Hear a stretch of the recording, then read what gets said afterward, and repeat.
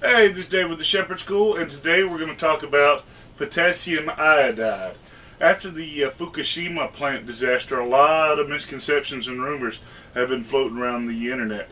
And uh, for a long time, you know, the survivalist type um, have always talked about having, you know, radiation pills in case of a, a nuclear attack. And I want to talk a little bit about some of these misconceptions and what actually potassium iodide does. Now, um, I guess some of you might know, but uh, in my full-time job, I actually do uh, training for first responders in how to prepare for and uh, uh prevent uh, nuclear accidents, I guess, first responders, how they can protect themselves, um, and how to mitigate those damages to the public. And so I talk a lot about potassium iodide. As a matter of fact, we issue uh, this, or my state issues this out to, uh, you know, first responders in the event of a nuclear disaster so they can go out. And also they have a bunch stockpiled for people who live around nuclear power plants. And I don't want to get into too much of that. But uh, I hear a lot of uh, people talk about this stuff and uh, what it actually does. So let me just tell you some things. Number one, radiation is a chemical property of the material, of the element that's being released. And different elements have both radioactive forms and non-radioactive forms, okay? Now, also, your body needs certain chemicals in order to, um, you know, function, right? You need calcium for strong, healthy bones and, you know, vitamin C for a good immune system and, you know, fight against colds and such. Well, one of the things your body needs is iodine for uh, your thyroid to regulate things like growth. Well, we don't get enough of it in our diets, um, and that's why they add it to things like salt. Right? That's why you have iodized salt, so that you can get the iodine your body needs for your thyroid to work.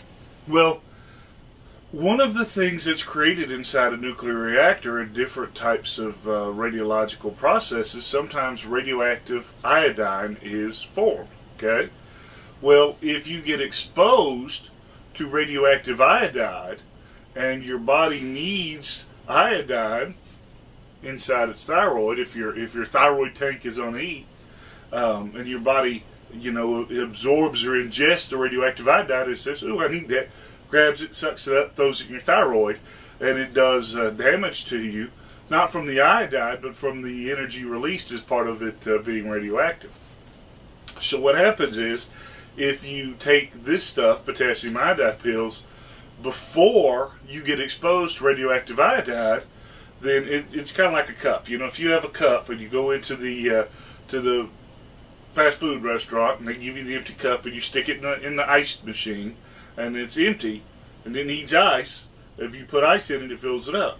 Well, once the ice is, is full, once the cup is full, all that extra ice goes off and goes down the drain and melts and whatever. Well, that's what this stuff does. It fills up your thyroid with the with the good iodine. So when you get exposed to the radioactive iodine, there's no place for it to stay, so you flush it out of your system. Okay? So this stuff isn't a radiation pill. It doesn't protect you against the different types of radiation. It protects you against uh, uh, element, a chemical with radioactive properties. Okay, that uh, you may be exposed to if you're inside a, a plume of, of uh, radioactive contamination. Okay? So, you need to take this stuff before you get exposed, and only if you're getting exposed to one particular radioactive isotope. Now, um, you can buy this stuff on the internet. All sorts of places sell it. Um, really, unless you live on a major corridor where you know material is being shipped around a nuclear power plant, you know, or you know, you're expecting nuclear war to rain down on you. You probably don't need it, but you know, if you would feel comfortable buying it, go ahead. But I will tell you, some people are allergic to this stuff. Okay, and if you're allergic to iodide, right, big big letters on here, don't take it. And I don't want to get into. A lot of people say if you're allergic to this, you're probably allergic to iodide.